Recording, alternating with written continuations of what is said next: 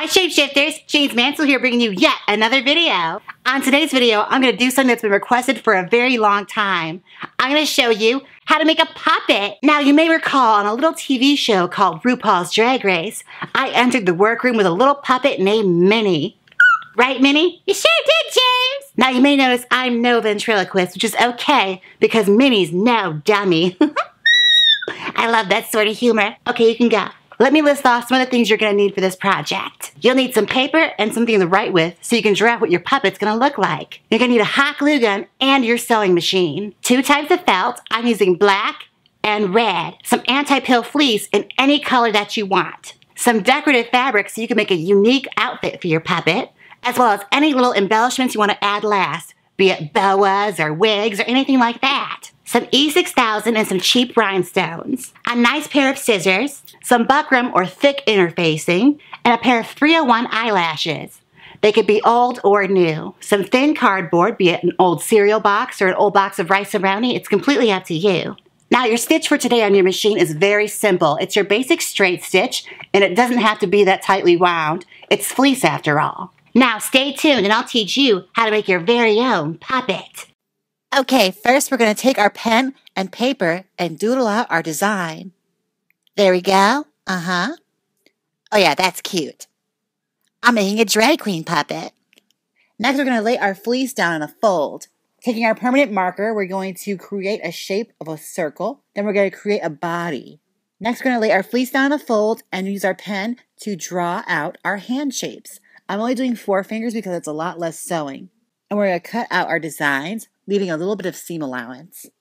Same thing goes with our legs on a fold. I'm making my puppet's foot a pointed toe because I want her to wear high heels. And we're going to cut out our arms. The arms should be a little longer than the legs because we want to be able to use these arms with hand rods. And using our sewing machine, we're just going to sew all of those together. Feed it through the machine and make sure to go slow. Take your time. All right, lay your puppet down flat and make adjustments where you need to make adjustments. All right, we're going to use our scissors and pinch the fabric on the head.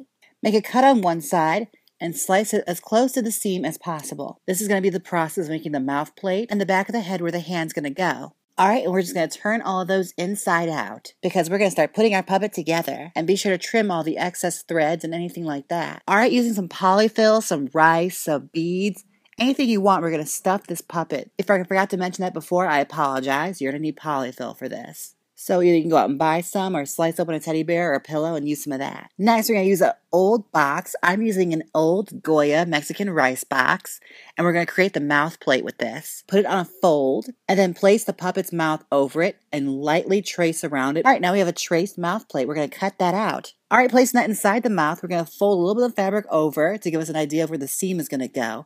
And using our glue gun, we're going to attach the mouth plate inside of the puppet. All right, do the same thing we did with the box. We're going to put the mouth plate over some black felt and cut around it. It's going to help hide the seams of that box and just make the puppet's mouth plate look a lot prettier. Again, don't forget to not to press too hard. You don't want glue to seep out and burn you. And just trim the excess around the mouth. Taking the glue, we're going to seal up the neck and then attach it to the back of the head, right under the chin. And follow suit with the rest of the puppet, attaching the legs to the torso and everywhere else. Pretty soon it should all be pieced together. Ooh, it's naked. Now for the eyes. I am using a styrofoam ball that I cut up into two. You can use anything you want for the eyes. You could use fleece, buttons. It's all up to you. Get as creative as you want. All right, taking more of that black felt. I'm going to cut two circles out, and those are going to be the dots for my eyes. And just glue those right onto the center. Taking the red felt, I'm going to cut out some lips for our puppet. Give her some big old nice lips. Make her lips look a lot like milks. Right, taking some more of that black felt, I'm going to cut out some eyebrows and just add finishing touches to the face. Like I took some scrap fabric and just pinched up into a ball and glued it right to the face. All right, now we're going to create an eyelid. Taking some scrap fabric, I'm going to wrap that around the eye and cut around it, giving it some seam allowance.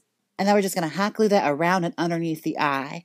And taking some of that black felt, we're going to cut out a nice strip and make some winged eyeliner for the eyelid to help hide that seam where the glue was. And I used some E6000 on the back of that rhinestone and put them right in the center of the eyes. All right, now we're going to start designing our costume. Let's consult our sketch again and make any last minute changes for the puppet. I decided against no sleeves. The puppet's outfit could be as simple or as complicated as you want. It's completely up to you. I decided to go on simple for this because I figured it's the easiest thing for you guys to pick up. I am making a two-dimensional flapper dress. Just cutting that out on a fold. Trim the excess and make sure we have an even piece. And we're just going to hot glue that right up the seam. You could sew it if you want, but hot glue is faster. All right, hot glue the seam up, and that's going to be the back of our dress. And then we're going to flip that over and put it on a fold again, where that fold before is going to be right in the middle now. And taking our scissors, we're going to cut down the sides, and that's going to be our armholes. Then take your hot glue and seal it up where the shoulders are going to be. Just be sure not to do too much because you want to make sure the neck can still fit through. Now that our dress is made, let's make some high heels. Taking that thick piece of interfacing, we're going to take that and cut out some small rectangles. And at the ends, we're going to round them off. That's where the toes are going to go for our high heels. And then we're going to take our hot glue gun, and while the glue is still hot, we're going to mold that to the shape of the foot, creating a high heel. And for that high heel part, we're going to cut out yet another small rectangle, fold it in half, and put hot glue down the center. And trim the excess to make it more of a sharp heel or a chunky heel. It's up to you. Now it's time to decorate our dress. I'm going to take a boa that I found and put that all around the bottom of the dress using hot glue, as well as on the tips of the heels as well to create some slippers. Taking an old crusty wig that's no good anymore, I'm going to cut off the crown of that and make that the wiglet for our puppet.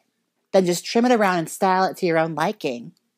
And as a finishing touch, take some 301 eyelashes, either brand new an old junky pair you have, or just take some right off your friend's face. Using some E6000, put a nice thick gob of that on the end of it, and paste it right to your puppet's eyes.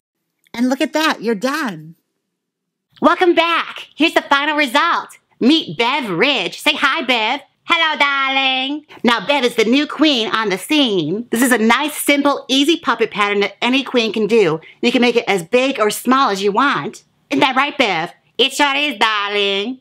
Now, don't forget to like, comment, and subscribe. And comment down below and let me know what you want to see next. And a big shout out to all my Patreon supporters. And if you're interested in becoming a Patreon, click the links down below and see how. Until next time, bye. Click here and get ready with me. Or see how to smooth out skin with Photoshop. Come on, click it. Please click it. If you don't click it, the shark will eat Mandy Moore.